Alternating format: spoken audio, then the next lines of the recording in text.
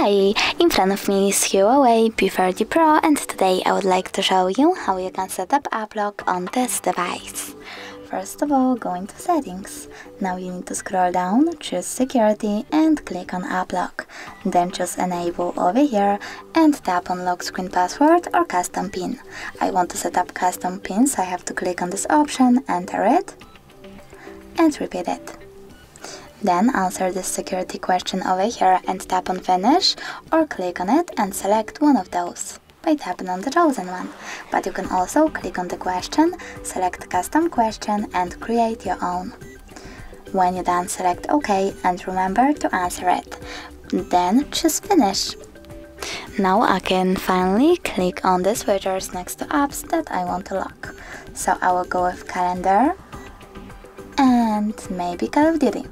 So now when I go back and try to access one of those apps, like calendar, I can see that pin is now required.